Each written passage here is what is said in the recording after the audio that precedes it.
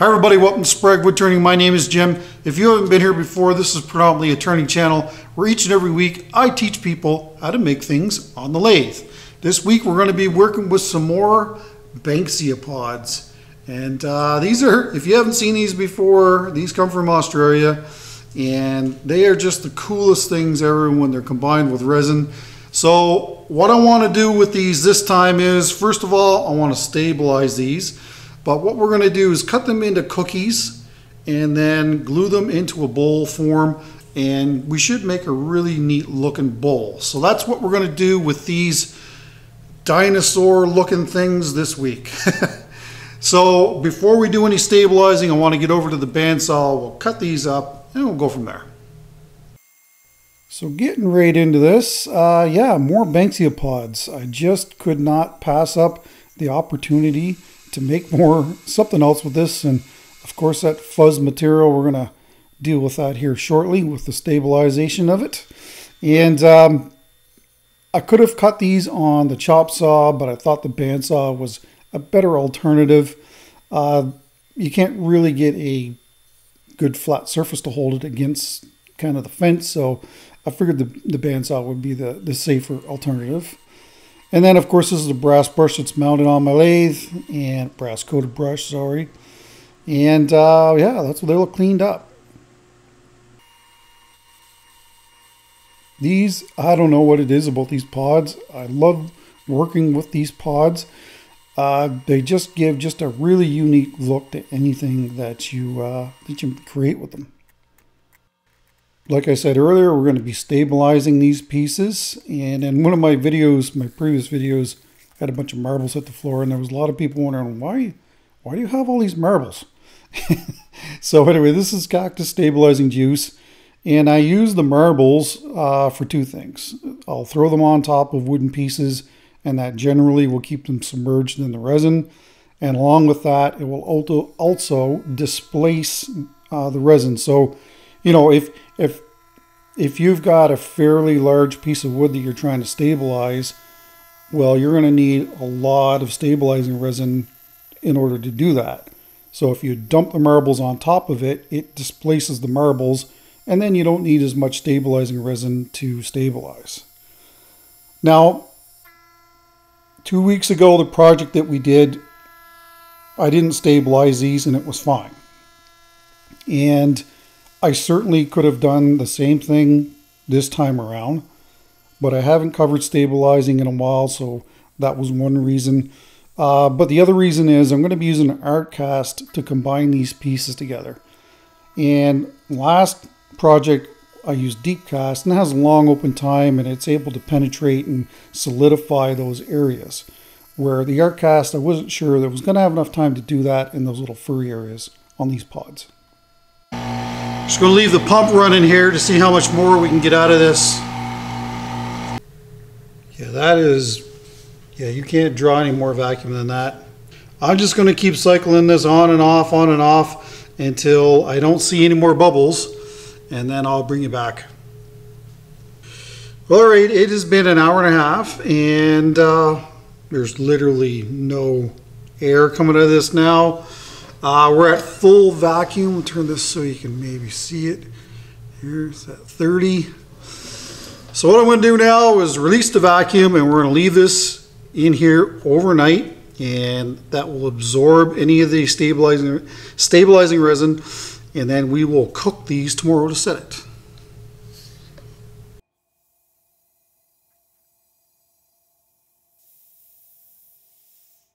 See you tomorrow.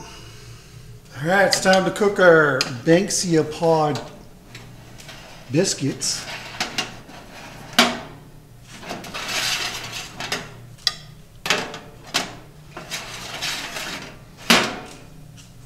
All right, so the instructions to uh, cure this resin is two to three hours at 200 Fahrenheit. I'm going to put that at about 225, I think. And we're on convection. Okay, that should be it. Uh, it's a little nicer day today, so I'll be able to open the doors and then that way uh, we're not going to get smoked out of here. But, uh, you know, two to three hours, so this is going to take three cycles to make sure that all the stabilizing resin is cured. Uh, the great thing about this is that there's a tray down below, so any excess uh, stabilizing resin will drip off and land on the tray and not on the, uh, the elements. So that's awesome.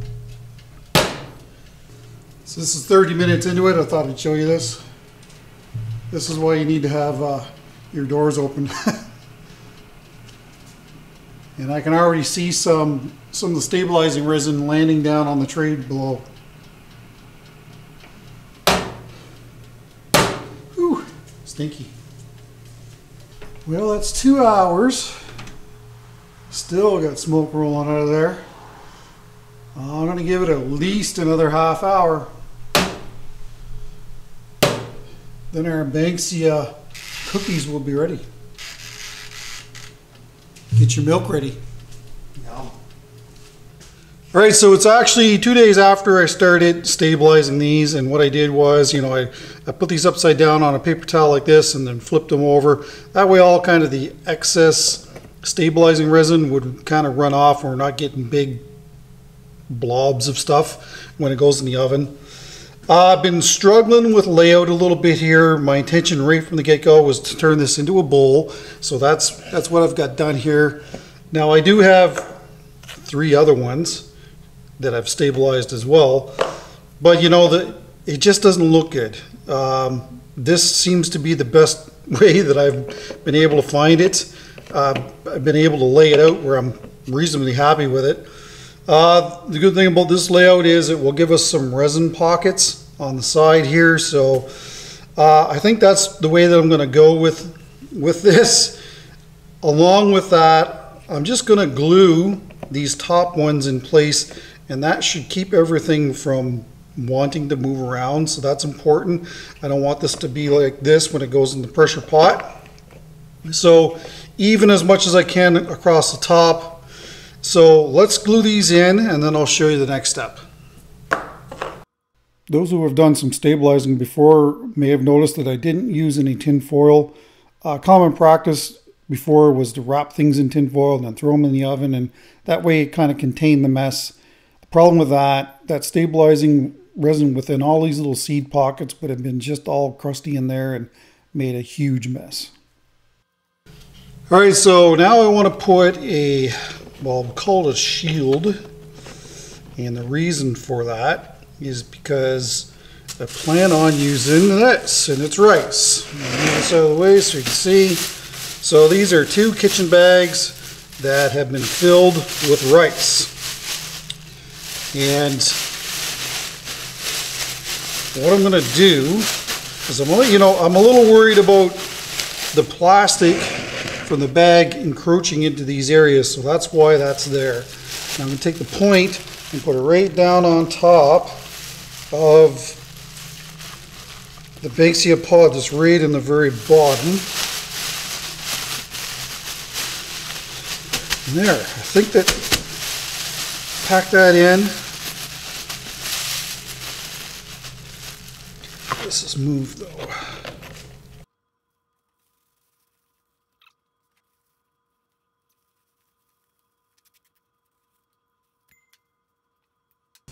The other thing too is I don't know if this is going to be an issue, so I'm just going to throw some tape on this to make sure that it isn't going to be an issue.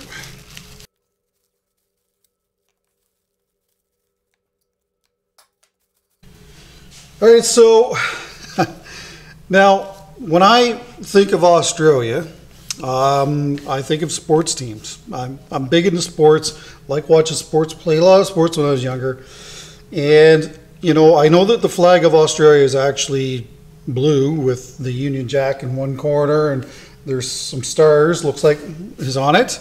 But you know, I always associate Australia with green and gold. So that's what we're going to use for our two colored epoxies here.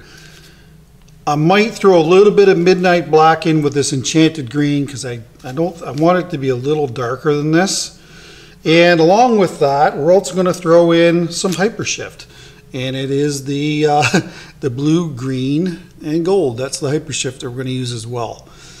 Uh, one of the tough, tough things that we're going to have to try and figure out here is how much resin this is going to take. Um, ordinarily, I, you know, I like to use the rice method to measure the, the volume, but I can't really do it here. If you tried to do that, the rice is going to get stuck down in all these openings and, you know, we'll see it in the end product. I, I just, I know that's how it would go.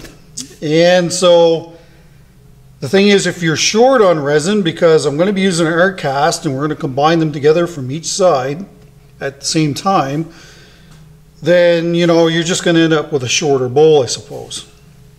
But uh, anyway, it's, um, it's hard, very hard to figure out exactly what it's going to be here but I just don't want to be too short on it, or else you know you end up with a small little bowl, and you're not really going to get the best use out of these pods. I know that this, you know, I definitely want to try and fill this right to the top, but uh, the likelihood of that happening is probably not all that great. but uh, I guess we'll find out. I'm gonna I'm gonna mix up a liter and a half of the green and the gold, two separate containers and hopefully that's to be enough. And hopefully it's not so much that we're wasting it either. So there's the art cast. If you're looking for color separation, it is easily achieved with art cast. The only limitations are on the depth of pour because art cast is really only recommended to up to an inch pour. I have poured it deeper and this pour here actually is deeper. It's actually an inch and a quarter. Yeah, I think it's an inch and a quarter, but in reality, because it's curved in some spots, it may be almost two inches deep. So, you know, it was risky. I, I was worried about thermal cracking, but uh, we'll see what happens here in the future. And of course, pearl gold, I think, is appropriate color, gold color for, for this Australian themed project. And there's the enchanted green again. And, you know, like I said earlier, I'm going to throw in a little bit of black because that was just, I wanted it to be a little deeper in color. And uh, the gold mixed up really nicely, but it was still, the green just wasn't deep enough for me. So there's the Midnight Black. Only used a little bit of that because I know that it can overpower a color. And of course, we can't forget the Hypershift to give us that extra sparkle and dimension within the epoxy. Love my Hypershift. Well, what do you think?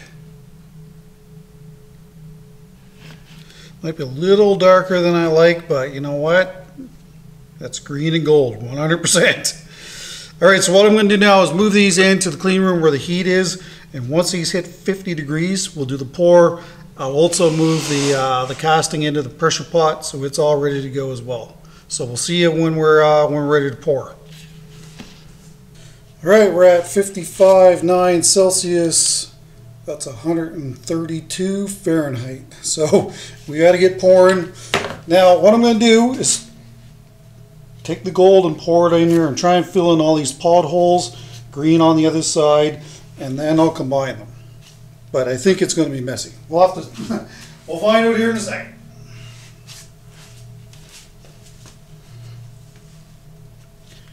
Yeah, that is warm.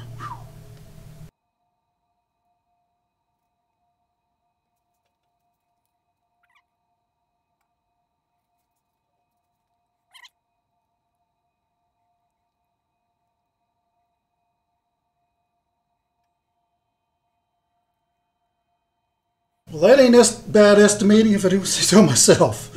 I'll just pour this into my cups and we'll be able to use this in a future project.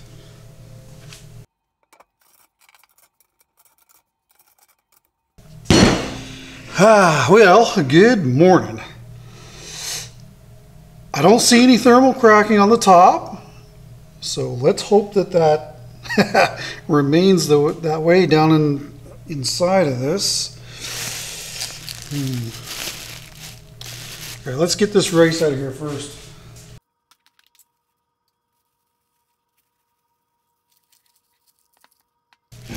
Well, that's sunk in a little further than I hoped it would, but hopefully that's not going to be an issue here moving forward with this. I should mention if you are going to use the rice method, uh, you seen how I put one of those cable ties on the top of the two bags? Well, make sure you don't tighten that down.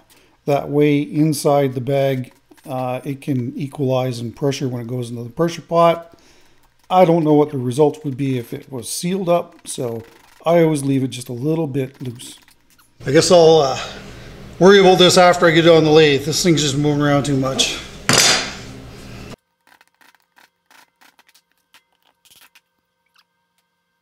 Well, I don't see any thermal cracking. And we've got really good color separation too. So, awesome, awesome, awesome. Okay, let's uh, clean up the bottom here. And we'll get a glue block on that. And we'll get this on the lathe. Just using the Kutzall sanding disc here to grind a nice flat spot on the bottom of this bowl. That way we can stick, stick on our waste block. And that's just been dipped in hot melt glue that's been melted in an electric frying pan.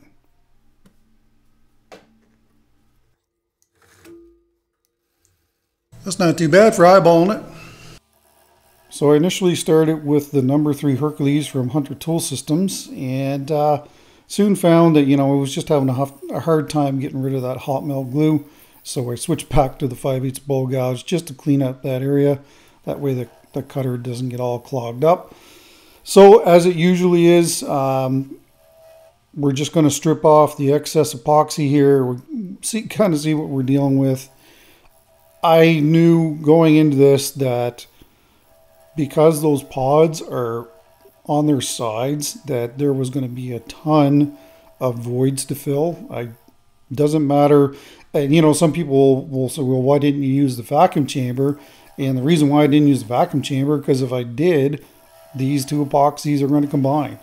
And there's such a large volume that they're probably going to start thermally setting quicker than normal.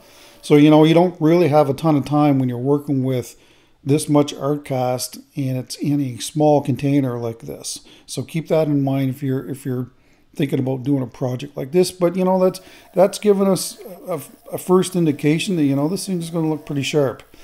I was well, I wasn't sure how this was going to look. Um, I really wanted to see the seed pod areas, and you know, when you're looking at it from the side, of course, you're going to have a lot of visual interest that way. But I wasn't sure how this was going to all pan out for this project. And, you know, I'm pleased with it. I'm actually more than pleased with it. I, really like this bowl. So, um, yeah, I mean, I'm glad that I did this.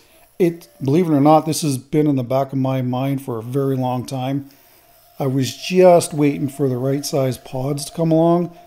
Uh, even using smaller pods, I mean, you'd have to use a lot of them, but using smaller pods in this kind of orientation will look really cool as well.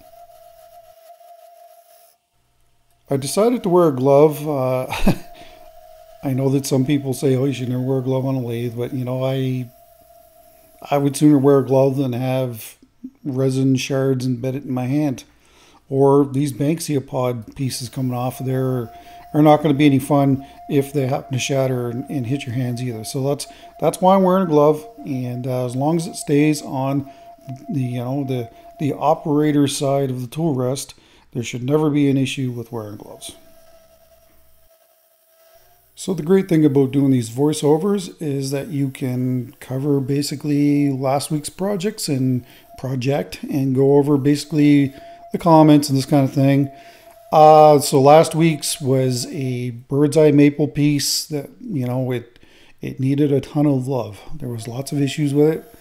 And in the voids, I put in the aluminum shavings. And the one thing that really I was surprised by is a you know there was a number of people didn't really care for the aluminum shavings. I thought that it was going to be a really cool contrast, uh, but hey, to each his own. Um, we're, it would be a really strange world if we all like the same things. So anyway, if you missed that video, I will link that at the end of this video, and uh, hopefully you enjoy it. Uh, we are already at a, over 121,000 at the filming of this. So um, thank you, thank you so much for for all the people that have supported me up to up to date so far. Uh, it's really awesome being a content creator for YouTube. And uh, from the bottom of my heart, I really do appreciate each and every one of you that watch my content and push it to others. Thank you. So there is what this is basically going to look like on the outside. And I'm really digging this. I'm glad that we got lots of seed pod areas coming through. Very, very pleased with the way that looks. Still got that plastic shield in there that's going to drive me crazy trying to get out because it, it's in there good. Uh, I think that if this epoxy had sat another day, it would make the epoxy a lot more brittle and it probably would have come out a little easier than it did. Uh, one thing to really be careful of if you're going to try and do something like this, don't be so aggressive that you actually, you know, crack your epoxy when you're trying to get these pieces out. Like at this stage, the epoxy's got a little bit of flex in it, so I wasn't too worried about damaging the epoxy. However, this will create issues coming up.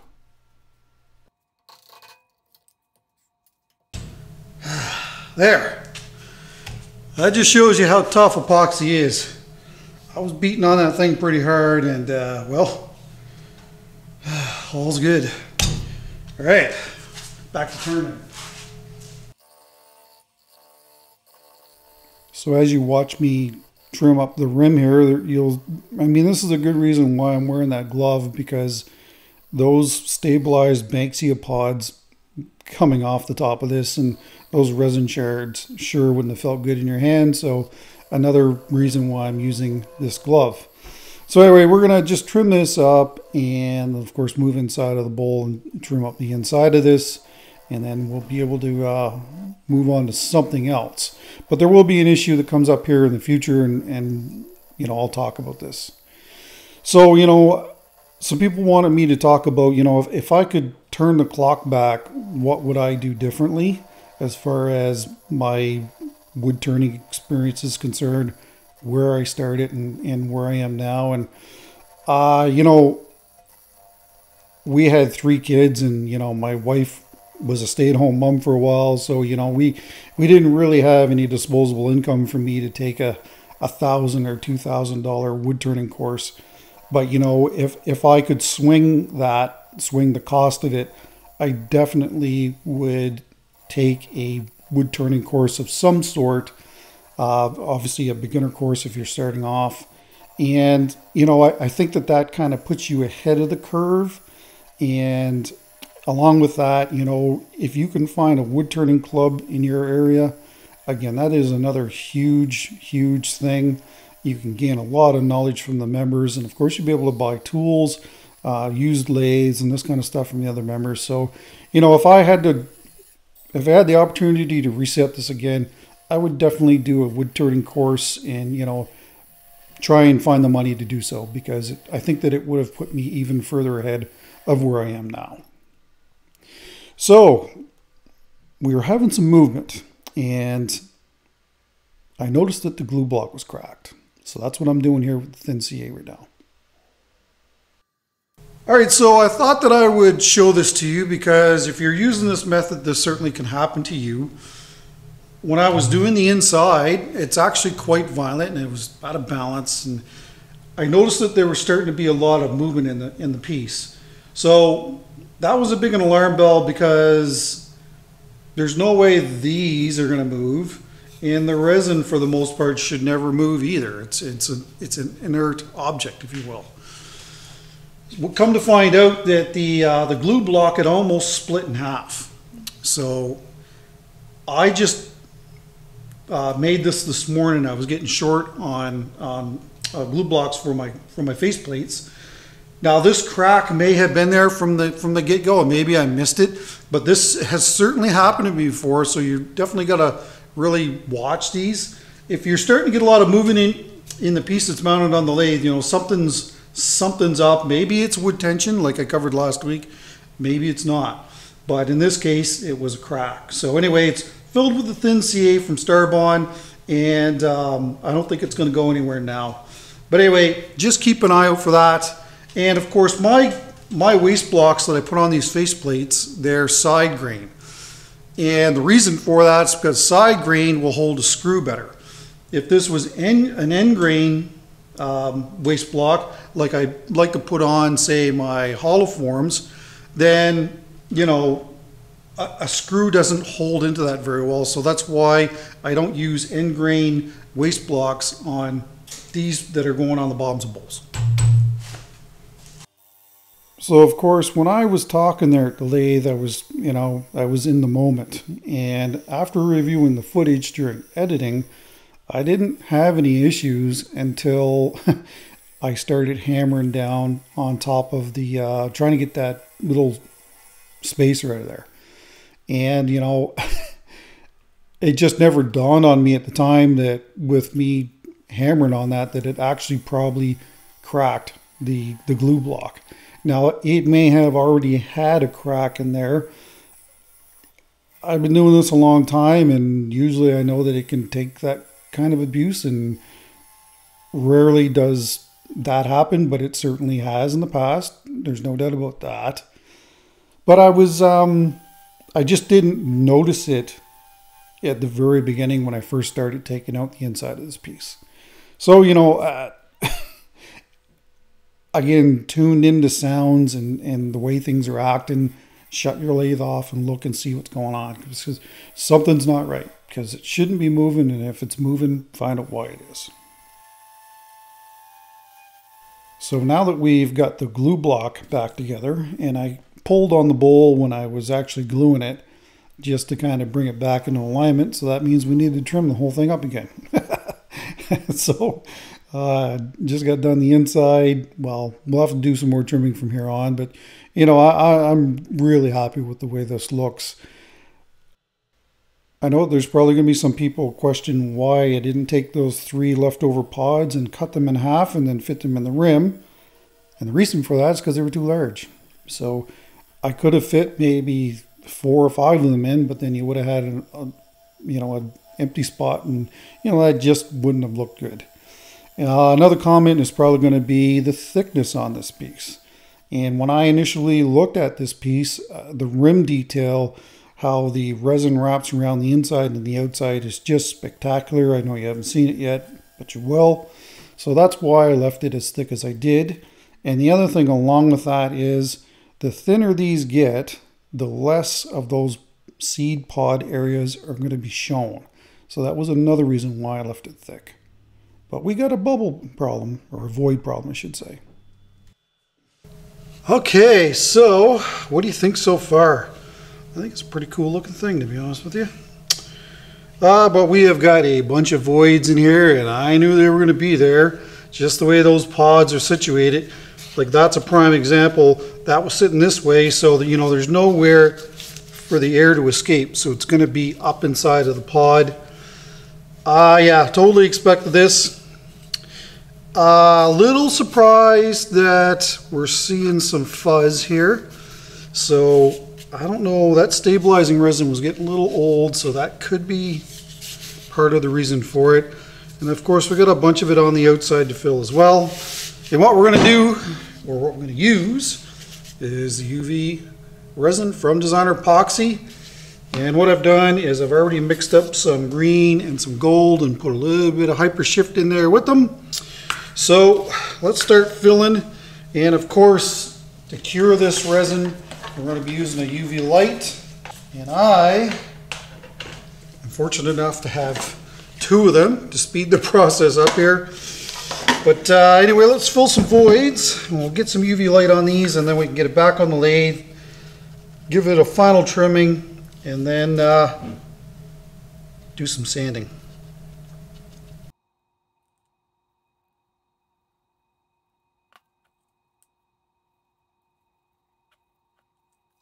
So there's your UV light. I'll throw this on here for two minutes and then I'll just keep working my way around the bowl until we get it all filled and we'll see you back on the lathe. So having those two lights, believe it or not, will really speed up your progress.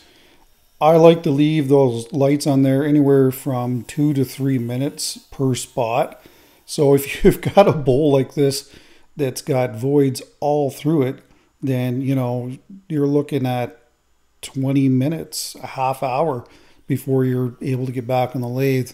So what I like to do is I put the UV resin in the voids, hold the UV light on it for like a couple of seconds so it doesn't move, and then I fill the entire bowl, and then I just stack those two UV lights together and cure up around the bowl. It is so much faster to do that. So, you know, if you're looking to increase production, spend the money and get another UV light. And of course, these ones come from Designer Epoxy. Really, really love them. Powerful lights too. Finally, on to sanding. These are the three and a half inch nipple discs from sandpaper.ca. I'm only going to sand this piece from 60 to 180 and because we're going to do an epoxy coat on this.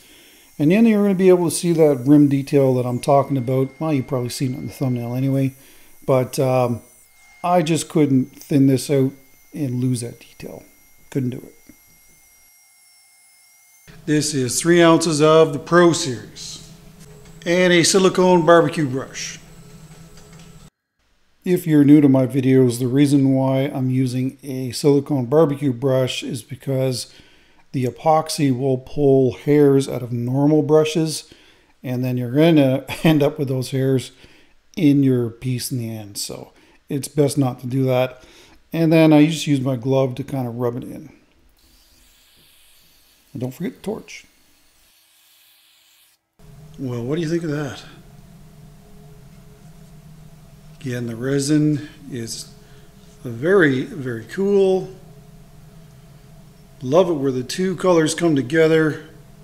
It's a really cool area. Of course, the uh, holes where the seeds were are filled in with resin now.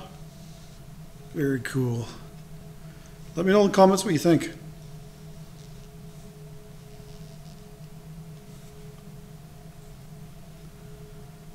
See you tomorrow for the uh, first coat of water-based Waterlox It's kind of scary, I'm not going to lie.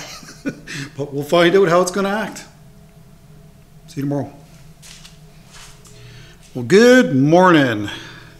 Got some bubbling action happening overnight. Fully expected that. Uh, really not a whole lot though.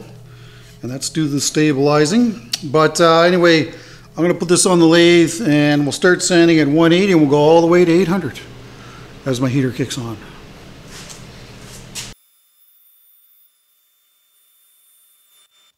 So I was really looking forward to working with the H2O Lox, as it's called. And um, one of the main reasons for that is because, the, you know, the Waterlox Original, it's, it's got quite a strong odor. And where the water-based stuff doesn't, hardly at all. Hardly even smell it. So that was going to be a big bonus as far as using that is concerned. So anyway, once I got sanded to 800, that is the Triple E buffing compound. And we're going to buff this piece out. And then after that, we'll clean it up with some denatured alcohol and get our first coat of water-based finish on.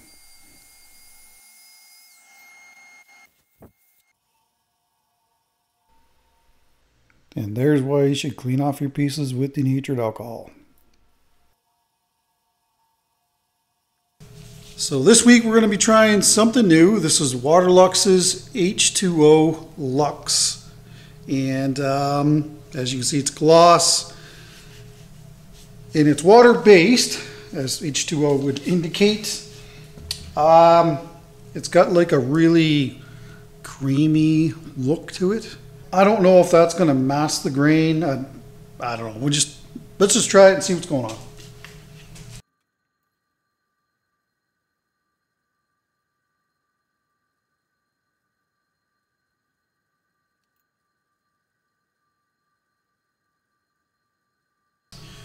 All right, so this isn't the first time that I've used a water-based finish and they give you that milky appearance like you're seeing, and then of course they dry clear. Um, yeah, can't really tell if it brings the grain alive because you really can't see it all that great. You know, like it's all kind of streaky. So it's going to be very interesting tomorrow to see what this is going to look like. Anyway, we'll see you uh, tomorrow for the second coat. I'm not exactly sure how I'm going to buff this piece. If I'm just going to stick with the Triple E, if I may try some other 6.0 steel wool or something. I don't know. Anyway, um, yeah, can't really, can't really tell you what it's going to look like or show you what it's going to look like right now. Anyway, we'll have a better indication tomorrow. We'll see you then. Well, good morning. So this is what it looks like after it's been cured. Uh, certainly looks a lot better now than it did yesterday. But again, all water-based finishes pretty much look like that. I did have to fill a small little hole here with UV resin. I don't know how I missed that yesterday and a couple of little spots where I spilled the resin. So I'll use some 800 to try and just grind those back very lightly. And uh, I think we'll probably try some 6.0 steel wool on this and get our next coat on. So we're going to come up with some um, some issues here very shortly. Uh, using the 800, a lot of times you can get away with that and not kind of break through the finish and affect too much as far as the next coat is concerned. And of course, that is 6.0 steel wool, and I got it from Ardec in Quebec, the province of Quebec. But immediately I noticed some issues and just areas throughout the piece that I was like, okay, this isn't normal, certainly. So I, at this point, I'm saying, okay, like I, I know that this is going to be an issue, and but I'm going to try and clean this off, and we might be able to to rescue this piece with the the water based um, finish. But you know, in the back of my mind, I'm saying, I, you know, I don't think that this is going to work out. Uh, sorry, somebody did send me an email and they said that they tried the Waterlox on the uh, the, the water based Waterlox and they had nothing but issues with it. But you know, I thought that I would give it a try. Uh, apparently, it's not really all that great on vertical surfaces, which of course you're going to have within a bowl, where you know the original Waterlox stuff that I like to use will lay out nice and flat and not sag. Okay, I'm going to call it here. Uh, we're not going to go further with this. It's just right full of streaks and it's just, I don't know, it's not, I don't think that it's working well with the resin. All these built up areas, it's on the resin and it's not so much on these pods. So, you know, I, I don't know if it's, if it's an issue with it adhering to the epoxy or what the deal is. Either way, I think that I think what I'm going to do is start sanding this back at 500 and uh, we'll switch over to the gloss or the uh, just the normal Waterlox. I probably one of the biggest problems I've got is if I don't do this now Today is Tuesday, Wednesday. Hopefully, we'll be able to two coat this and then we'll be able to do things on uh, Thursday like we normally do. But I, I just, I'm not feeling the confidence that it's going to be an issue. But there's lots of it down in this area here, this this area here. Uh, you know, it's just, I think that it's probably a great product, but it's just not meant for this application. So sanding it is. All right, so before we put our first coat of Waterlox gloss on here, uh, just to let you know what I did, I basically started sanding this at 180, went all the way to 800, buffed it, and then cleaned it with the denatured alcohol prior to this coat finish. So just to be clear, I am a Waterlox fan and I really do like the products that they make. So, you know, in the future, uh, we'll use this probably on something like cutting boards or something like that, because this is 100% non-toxic once it's fully cured and would work great for that. There's that shine and sparkle that we're used to seeing. That hypershift in there just really just makes that resin pop. It's crazy how much it, it changes it.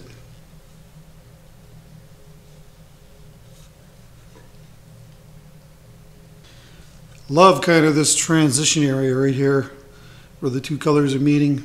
Really, really cool. And looking at it in this direction, I mean, it just sparkles.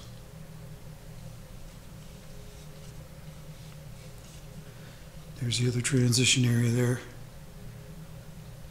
Very cool. Uh, I'm not going to bother showing the second and the third coat. All I'm going to do is buff it the same way that I usually do and then put another coat on. And we'll see you when we're doing the bottom. Hopefully two coats are going to do it. I mean, it looks really good. So I'm hoping just one more coat will do it and then we'll be able to finish this video up with a nice finish piece. See you when we're doing the foot. So after two coats of Waterlox Original, we're ready to part this piece from the waste block. I did have tons of issues with the very bottom of this piece.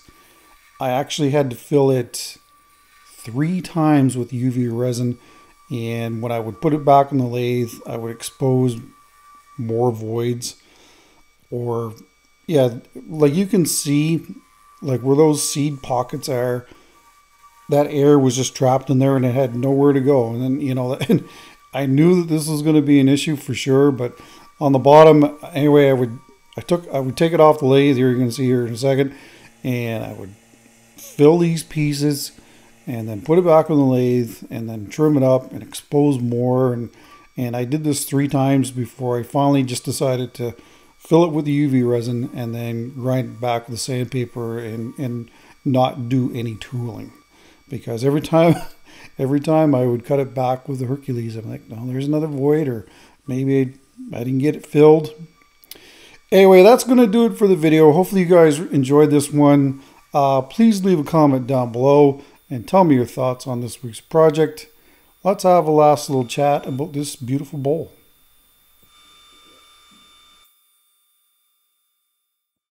Well, it's going to be interesting to see what you guys think about this. Uh, I think it's really cool. I really, really like working with these pods. Give you such a really, really neat look. Here's the inside. I think that, you know, this is only two coats, so I think that it does need another coat just to be sure before it goes to its new home. And uh, here's the bottom. I know the details are really hard to see on there, but uh, it's uh, it's quite busy. But the thing is, I, I thought about engraving, and anytime that you engrave on wooden type stuff and then into the resin, it just it doesn't look good. So that's why it's written on there. But anyway, uh, once three coats go over the bottom of that, it should be sealed up nice. Size on this is 10 inches across, 4 inches tall, and it's a 7 eighths of an inch in thickness. So I know that there's going to be a lot of people that are not happy about that. Um, the thing is, the thinner you get, the more of this detail you're going to lose. So that's one thing to consider. Uh, I really like this area right here. I noticed that there's a little line there from when I put the finish on. So yeah, it's definitely going to need another coat. Um, too bad the water-based stuff didn't work out. Uh, just the wrong application for it, and, you know. But you know, you never know till you try. Uh, thanks for the warning, the person that, that sent me the email on it. Anyway, let me know in the comments what you think about this. I think it's absolutely awesome. And hopefully you guys too you guys do as well. And I should mention this is for sale. If you're interested in this piece, send me an email to spraguewoodturning at gmail.com and I will disclose the price then in case this is a gift. Don't forget to put designer epoxy in the comments down below to be entered into the next giveaway at 130,000 subscribers when we get there. Uh, again, we're just creeping up and creeping up, so it's awesome. Thank you so much for those who have subscribed recently. And uh, hey, if you haven't subscribed yet, please do that so that we can get a little further along here. Uh, next week is going to be kind of, um, it's going to be a vase project of some sort. I'm not exactly sure what it's going to be yet, but it's going to be a vase. I do know that. So please come on back next week for that.